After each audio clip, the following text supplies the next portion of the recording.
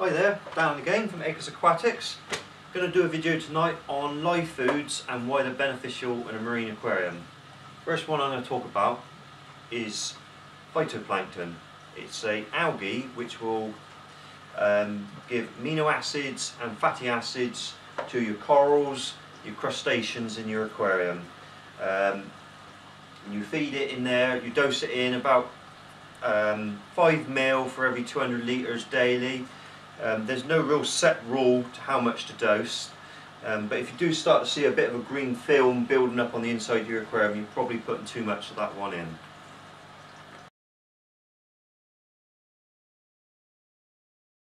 Next one I'm going to talk about is rotifers. Um, rotifers will feed your um, SPS, LPS, most of your corals will feed off of them, some of your crustaceans will feed off of them. Um, the rotifers itself will actually feed off the green phytoplankton that you put in as well. So they work hand in hand. They feed off the green phyto and multiply, um, and then they get their their food source for all your corals.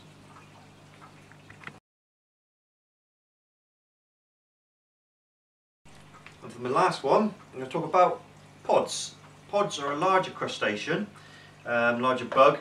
The fish can see these, um, so mandarins, um, we'll peck them off the glass and off the rocks all day long. Absolutely love them. Really good for them. And anthias will feed off them. Um, some of your butterfly fish will feed off them as well. They can be really finicky feeders, so it's great to have them in your aquarium.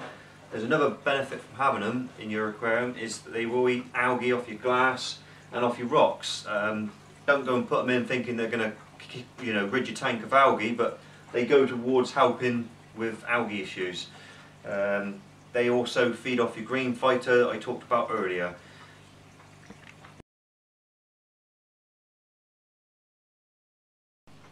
Right, we've talked about them individually and now we're going to talk about how to add them and how they all work together. The rotifers and the copepods you'd add at night time. That way they get a chance to settle in the aquarium and they're not eaten all eaten by the fish all at once as they go in. Um, the green phytoplankton um, I tend to feed this in the daytime so it naturally gets all the rotifers and the pods up into the water column, feeding on the green plankton. Um, the corals will start opening up, eating on eating the green phytoplankton, and they'll also start consuming some of the rotifers and the pods, which are up and about, eating the green water. Um, so yeah, feed that once a day. Like I said, if you get an algae bloom, start if you start to get a bit of an algae build up on your glass, ease off the green phyto. You probably put a little bit too much in than the tank can handle.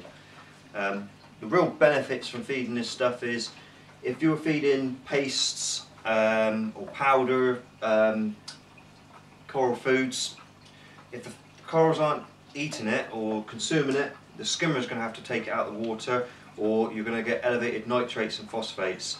With your rotifers and your pods, they're living just like your fish, so they're not excreting a lot of waste into your water. Um, they're going to keep your nitrates and your phosphates down low. Um, they will go on and multiply in your aquarium and they're the nicest, naturalist way of feeding corals in your marine aquarium.